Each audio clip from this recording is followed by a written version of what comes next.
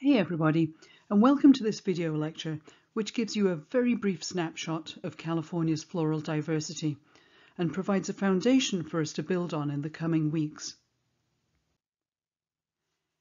California is the most biodiverse state in the USA.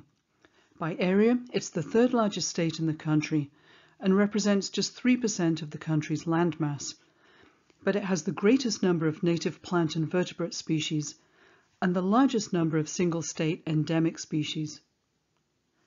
Unfortunately, it also has the greatest percentage of threatened species, which at just over 31% of the total number of species is the second largest percentage in the country after Hawaii.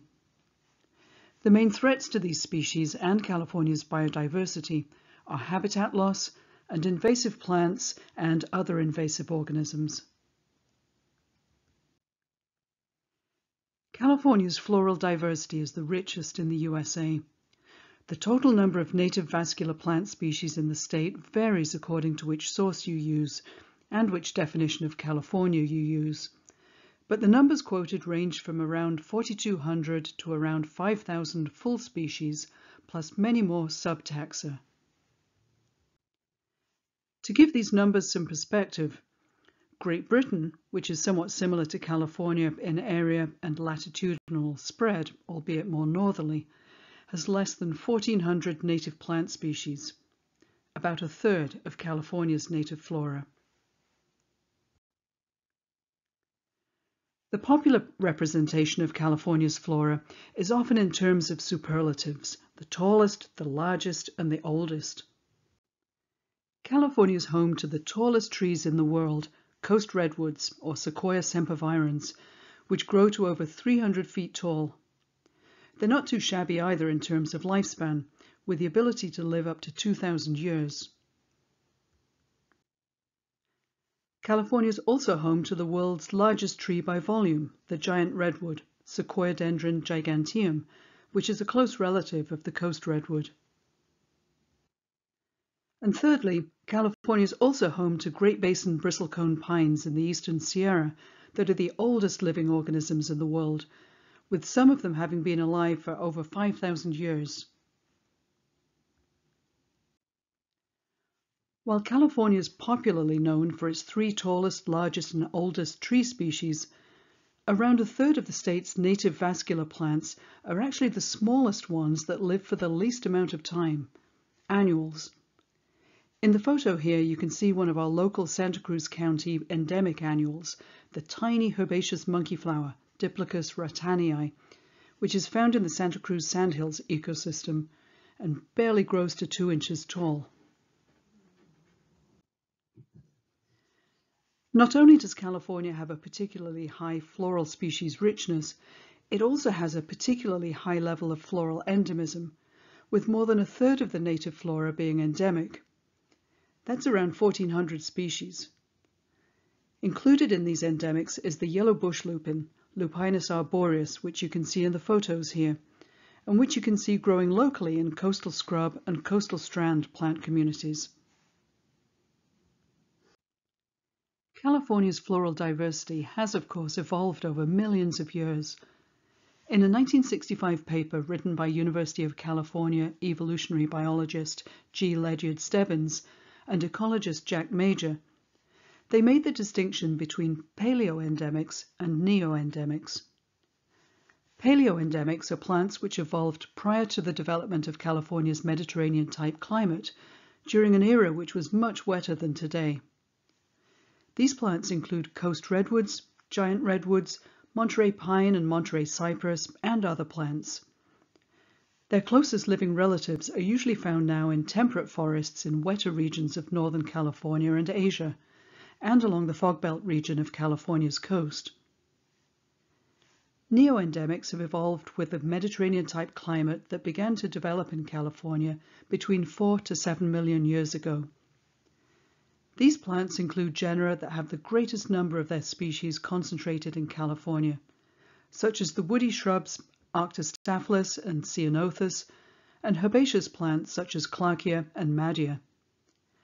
You should see several species from all four of these genera in our labs this semester.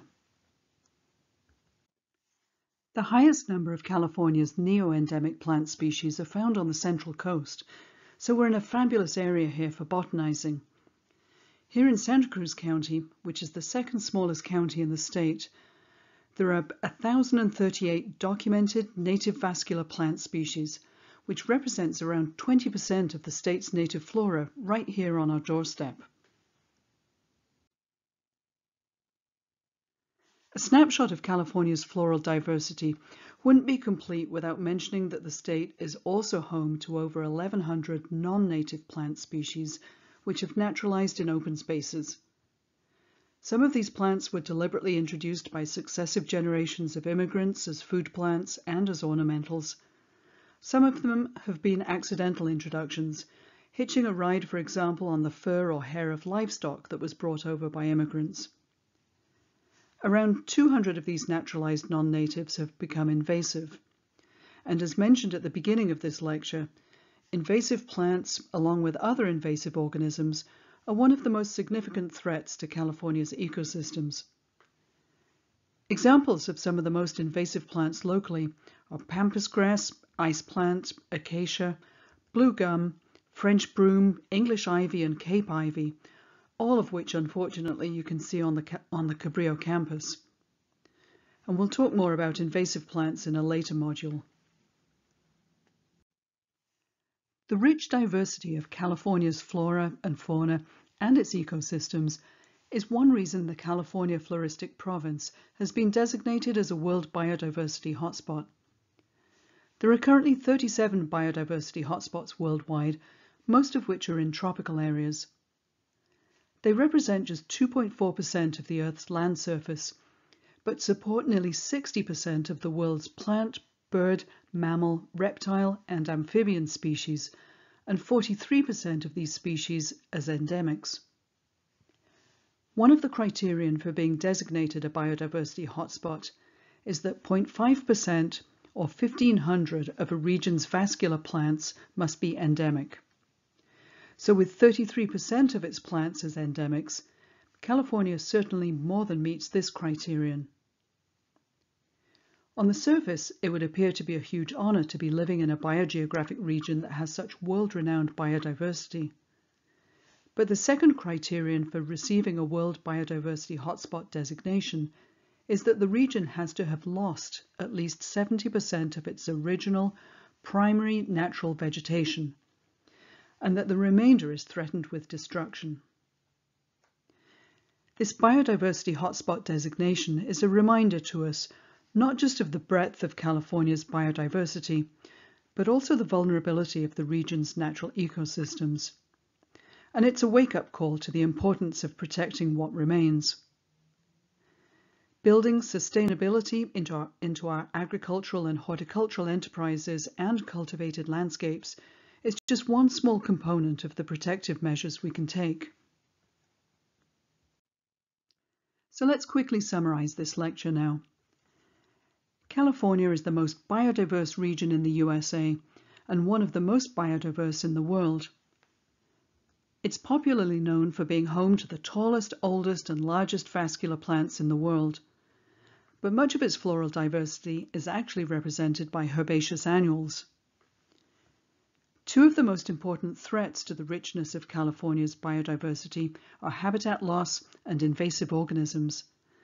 And these, together with the fact that the region has lost over 70% of its original primary vegetation, has resulted in the California Floristic Province being designated a World Biodiversity Hotspot. That's the end of this video lecture. Thanks for listening. Head back to Canvas to continue with this module now.